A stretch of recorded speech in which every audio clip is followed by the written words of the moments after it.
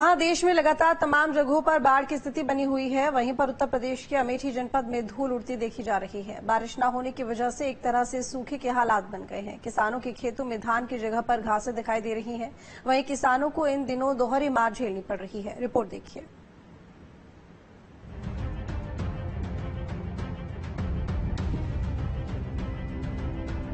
देश में लगातार तमाम जगहों पर बाढ़ की स्थिति बनी हुई है।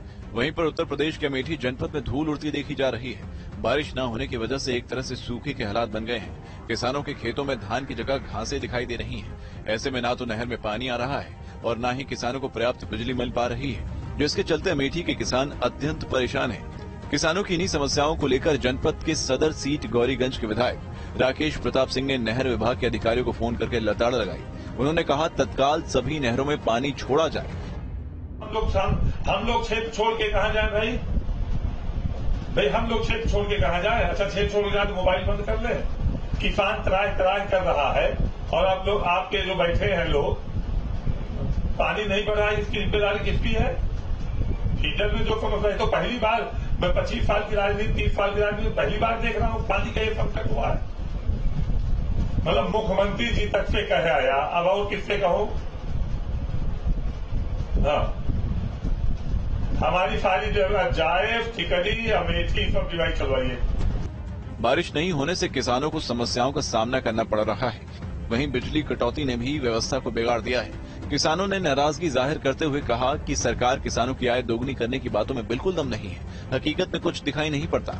एक तो ऊपर वाले ऐसे ही नाराज़ हैं, जिसके कारण सूखे जैसी स्थिति बन रही है। दूसरी तरफ़ नहर विभाग और बिजली विभाग दोनों में जंग छिड़ी हुई है। न नहर विभाग पानी दे रहा है और न ही बिजली विभाग ठीक से बिजली दे रहा है। समय से बिजली, पानी, खाद, बीज न मिलने के कारण धान की फ़सल इस बार पूरी तरीके से चौपट हो गई है। इसके अलावा किसानों का ये कहना है कि आवारा पशु भी उनकी खेती चौपट करने में महत्वपूर्ण भूमिका निभा रहे हैं।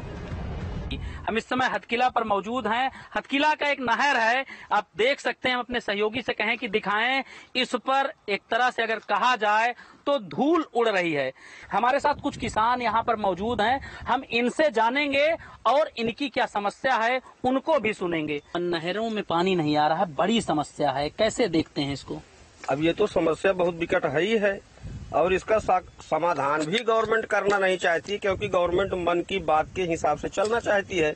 तो तमाम उन्हीं के सांसद विधायक सिफारिश कर रहे हैं भैया एक्सीएन को फ़ोन कर रहे हैं और तमाम उच्च अधिकारियों को फ़ोन कर रहे हैं कि भैया पानी छोड़ दो किसान परेशान है हमारे पास तमाम शिकायतें आ रही हैं। क्या क्या समस्या है? यही दिक्कत पानी आ नहीं रहा है। हम लोग धान के लिए कर नहीं पा रहे हैं। कहाँ से करें जब पानी ही नहीं आ रहा है। तो कहाँ से करेंगे? किसान तो ये थे जो है किसान जो साफ़ तौर पर यह बताए कि नहरों में पानी नहीं आ रहा है यूपी में इन दिनों हालात ये हैं कि कई इलाकों में बाढ़ ने पूरी तरह से फ़सल को बर्बाद करके रख दिया है। तो वहीं किसानों को सूखे की मार झेलनी पड़ रही है। ऐसे में सवाल है कि किसानों की समस्या का स्थायी समाधान क्या है? टीम न्यूज़ स्टेट संभल के डीएम डॉक्टर